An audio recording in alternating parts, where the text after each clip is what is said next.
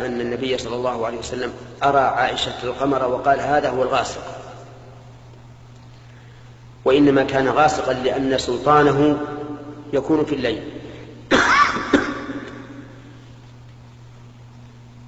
وقول من شر غاسق إذا وقب هو معطوف على من شر ما خلق من باب عطف الخاص على العام لأن الغاسق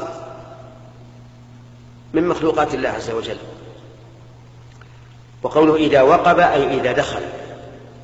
فالليل إذا دخل بظلامه غاسق وكذلك القمر إذا أضاء بنوره فإنه غاسق وهو ولا يكون ذلك إلا في الليل.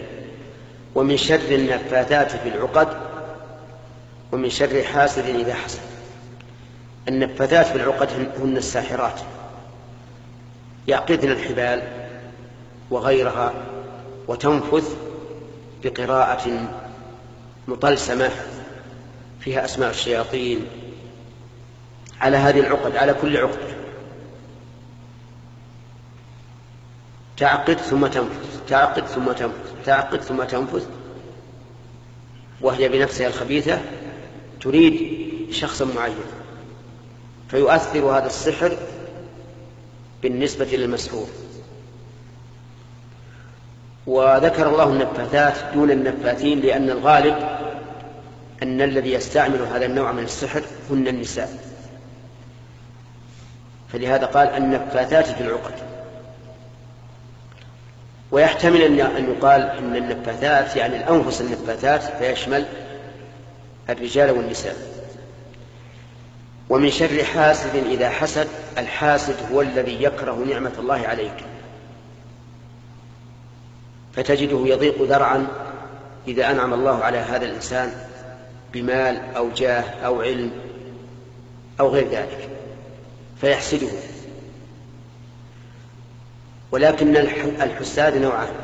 نوع يحسد ويكره في قلبه نعمة الله على غيره لكن لا يتعرض للمحسود بشيء. تجده مهموما مغموما من نعم الله على غيره لكن لا لا يتعد لا يعتدي على صاحبه. والشر والبلاء إنما هو بالحاسد. متى؟ إذا حسد. ولهذا قال إذا حسد. ومن حسد الحاسد العين التي تصيب المعان. يكون هذا الرجل نسأل الله العافية عنده كراهة لنعم الله على الغير فإذا أحس بنفسه أن الله أنعم على فلان بنعمة خرج من نفسه الخبيثة. معنى لا نستطيع أن نصفه لأنه مجهول. فيصيب بالعين من تسلط عليه. أحيانا يموت وأحيانا يمرض وأحيانا يجن. حتى الحاسد يتسلط على الحديد فيوقف اشتغاله. ربما يصيب السيارة في العين وتنكسر أو تتعطل ربما يصيب رفاعة الماء حراقة الأرض. المهم أن العين حق تصيب بإذن الله عز وجل. ذكر الله عز وجل النفاذات في العقد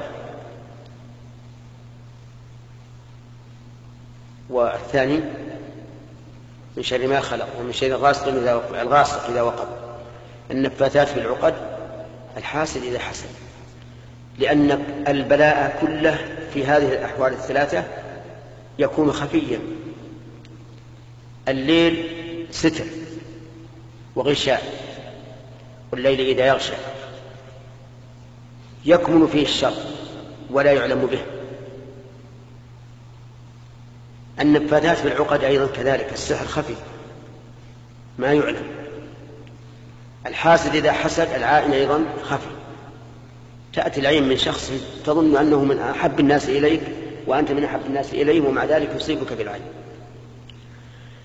لهذه الأمور لهذا السبب خص الله هذه الأمور الثلاثة الغاسق إذا وقب والنفاذات في العقد والحاسد إذا حسد وإلا فهي داخلة في قوله من شر ما خلق. فإذا قال قائل ما هو الطريق إلى التخلص من هذه الشرور الثلاثة؟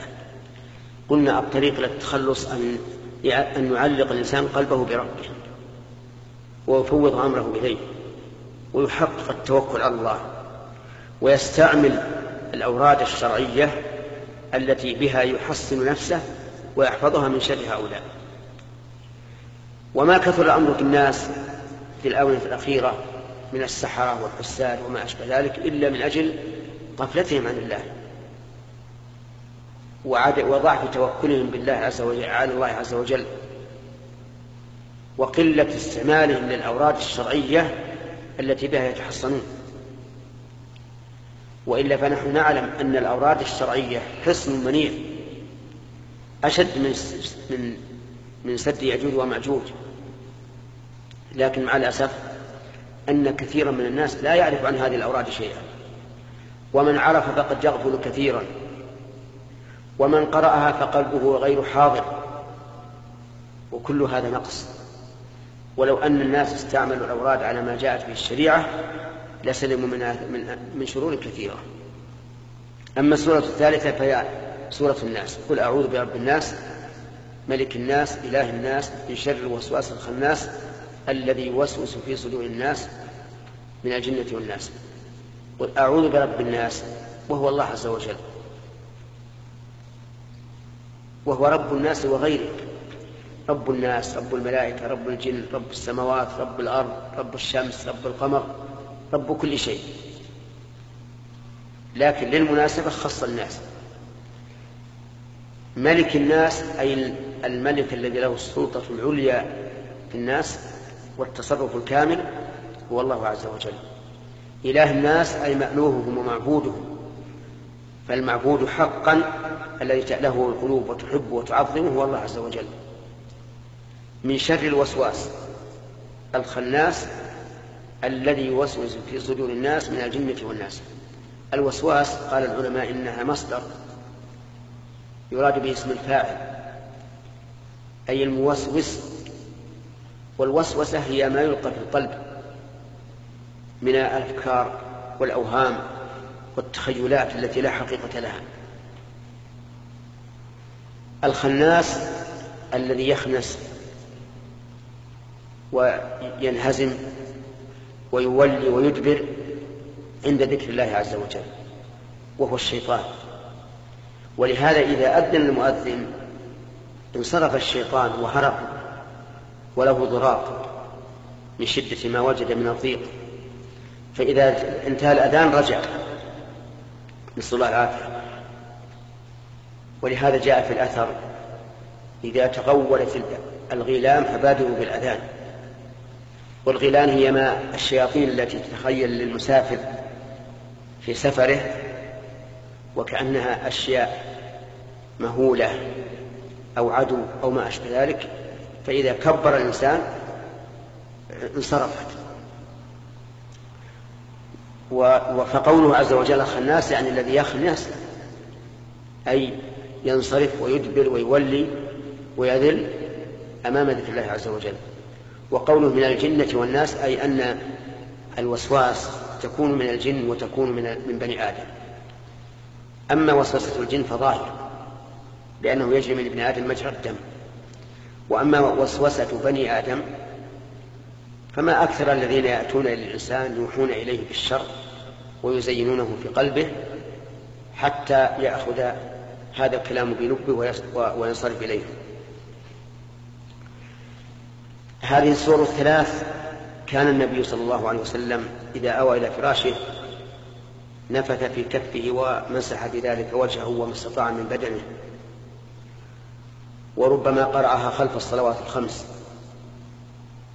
فينبغي للإنسان أن يتحرى السنة